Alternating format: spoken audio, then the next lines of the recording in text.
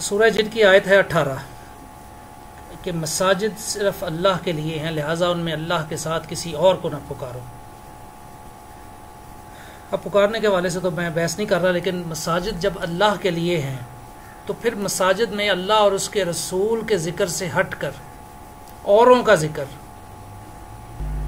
اور سے مراد کون؟ بزرگوں کا ذکر چلیں میں یہ کہہ بزرگ سے اگر مراد حضرت ابو بکر عمر عثمان و علی ہیں تو وہ بھی ثواب ہے۔ ٹھیک ہے۔ لیکن ان جو دین کی دین کے مکمل ہونے تک جو بزرگ رہے وہ تو ٹھیک ہے۔ لیکن ان کے بعد کے جو بزرگ ہیں ان کے بعد بھی امام بخاری امام مسلم کا ذکر ہو کوئی مسئلہ نہیں۔ اگر آپ اس سے مراد وہ بزرگ رہے ہیں جو اپنی باتیں کرواتے رہے ہیں جی۔ اور لوگوں سے چندے تھے آ کے انہوں نے جو ہے وہ سارے معاملات چلائے ہوئے ہیں جو انڈیا پاکستان کے بزرگ ہیں نا آپ۔ بزرگوں سے تمہیں کوئی لرجی لوگ کہتے ہیں بزرگوں کے خلاف ہیں۔ ہم تو بزرگوں کے ماننے والے ہیں۔ ہم۔ آپ کے بزرگوں کے خلاف ہیں اسلام کے بزرگوں کے خلاف نہیں ہیں۔ ہم نے کبھی امام بخاری کے خلاف کوئی گندی بات کی ہے؟ نعوذ باللہ۔ ہم تو ان کی پاؤں کی خاک کے برابر بھی نہیں یعنی ہم امام بخاری کے زمانے میں ہو تو ہم ان کی جوتیاں اٹھانے کو اپنے لیے سعادت سمجھیں۔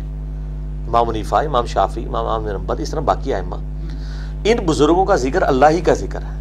قرآن میں جو سرات اللہ زین انعامت علیہم ہے انعام یافتہ لوگوں کا ذکر اللہ کا ذکر ہے۔ وہ آپ کی بات سے یہ ڈیفینیٹلی تو پھر صحابہ ہی ہوں گے یا اہل بیت ہی ہوں گے یا ان سے پہلے، جو قرآن کے نزول سے پہلے ہیں۔ قرآن کے نزول کے بعد جو بزرگ ہیں یقیناً، لیکن وہ آپ پتہ دیوبندیوں کے اپنے بریلیوں کے اپنے، شیعہ کے اپنے، اہل حدیث کے اپنے۔ جو کامن بزرگ ہیں جن پہ سب متفق ہیں، علمی دلائل کی روشنی میں، ان کی تعریف ہونی چاہیے۔ اور لیکن اس میں غازہ نہ ہو، ان سے مدد نہ مانگی جائے، ان کی یعنی تعریف، ان کی جو خدمات ہیں، ان کو اپریشیٹ کیا جائے۔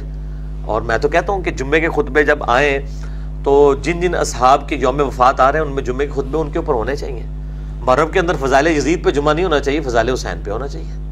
یہ بھی تو نہیں ہونا چاہیے۔ اور اسی طریقے سے باقی اصحاب کے دنوں کو، اکیس رمضان آئے سعید علی پہ ہو۔ اس طرح جب جماعتی الاول میں جب ذکر آئے تو سیدنا ابو بکر صدیق کا ہو۔ اور اسی طریقے سے سید ذوالحجہ کا آخری اشرہ آئے تو سیدنا عمر کی شہادت یہ کا محرم تو ثابت نہیں ذوالحجہ کا آخری اشرہ ہے تو وہ ذکر ہونا چاہیے۔ بالکل اچھی بات ہے۔ لیکن اسے مدد نہ مانگی جائے۔ بلکہ ان کی جو تعلیمات ہیں لوگوں تک پہنچائی جائے۔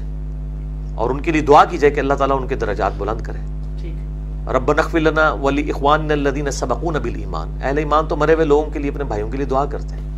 دعا کی جائے بس۔